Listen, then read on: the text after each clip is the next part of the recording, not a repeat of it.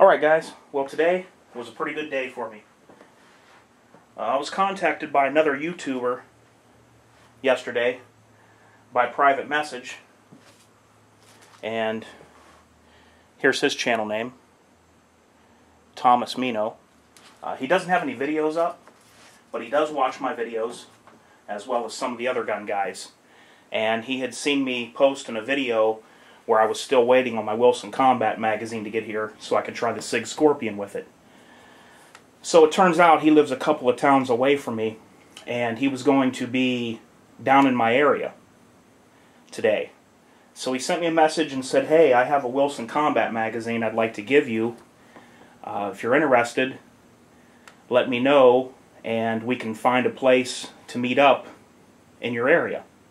So I called the phone number he left and told him, you know, sure, you know, I'd like to try out the Wilson magazine, and so here it is. Thomas brought me down that Wilson magazine, and he also brought me this book called the M1911 Complete Owner's Guide. It's a very informative book, and it's got a lot of stuff in here with pictures. Um, basically, showing you descriptions on how to work on 1911s and different things you can do to them. So he brought me a magazine and a book. Thanks a lot, Thomas. I do appreciate it. Well, after I left from where I met him at, I come home, and guess what is sitting in my mailbox? H4T's mailbox had the Wilson Combat 47D magazine that I had ordered uh, about a week or so ago. Finally got here today. So here's that one.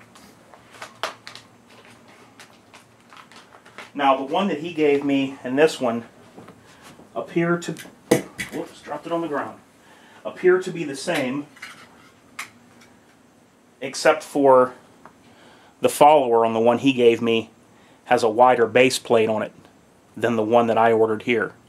But other than that, they're pretty much identical. Um, his has numbers on it. His has the numbers on it. Mine does not. But aside from that, they look like the same magazine. So that'll be great. Uh, I'll have two magazines to run with now, and I can just ditch the SIG magazines. What I'm going to do now is I'm going to hand cycle this a few times because some of the times, even with the SIG magazine, the slide wouldn't lock back manually, racking it by hand. So I'm going to hand cycle this with the SIG mag and then with the Wilson mag and I'm going to tell you if there's a if there's a difference that I can tell. Okay, right in there now is the SIG magazine that came with the gun.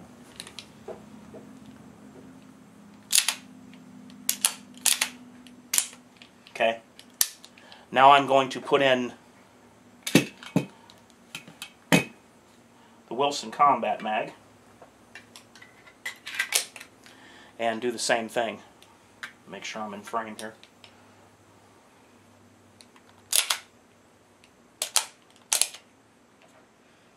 Okay, the first thing I'm noticing is it feels like it's locking with more authority and it takes more pressure for me to release the slide lock lever when I release it now with the Wilson magazine and that's a good thing. Uh, I don't use the slide release lever to uh, chamber the gun. When the gun is locked back and I put in a new magazine, I use the over, over the top method and just pull back on the slide and let it fly forward. I don't even use this. So that's a good thing. It's locking up a little bit more positive. Uh, let me show you the difference or the similarities in the followers of these two magazines.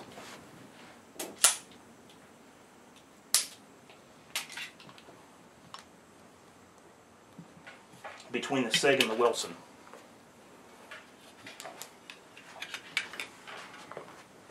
Okay, let me stand here where I can better show you this.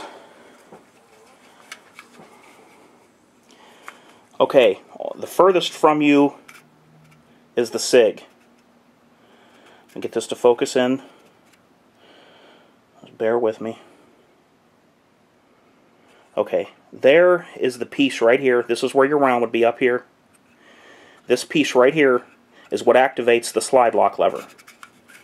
Now on the Wilson,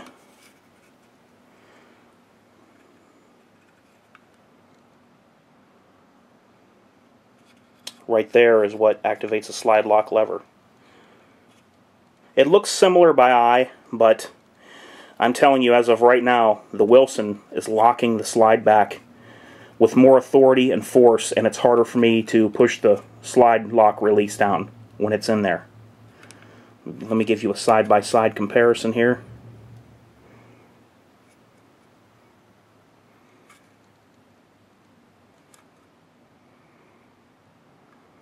And like I said, the my thumb is on the Wilson right here. So there's the difference in the followers. Might not look like a lot by eye, but it doesn't take much to change the, the dynamics of what's going on in that gun. So I'm very hopeful that this gun is going to work properly with the Wilsons. Uh, I have two of them now, and I will be using both magazines. I'm going to try to get out there Monday, uh, pending weather. As long as it's not storming and there's not a swamp, I prefer to shoot outdoors, and that's what I'm going to do with this thing. And plus, it's much easier for me to film and let you see what the what the gun's doing when I shoot. Uh, if I'm in the indoor range, you're not going to be able to see too much of what's going on because of how the lanes are.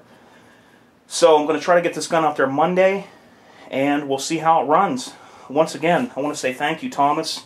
The book is awesome. I'm probably more happy with the book than I am the magazine right now at this point because there's a lot of things in here that I'd like to read up on. Uh, I haven't done work on 1911s. You know, that's why I like the Glocks. Simplistic, and you can change anything out in them that you need to. Uh, you know, it's just the simpler a platform is, the much more user friendly and easier it is to deal with. But I'd like to get into some of this stuff that's in here and start looking at how to work on these things and you know do different things to them. So that's it, guys. Two Wilson Combat magazines, and hopefully I can say bye bye to these Sig mags forever. This is H4T, and I'm out.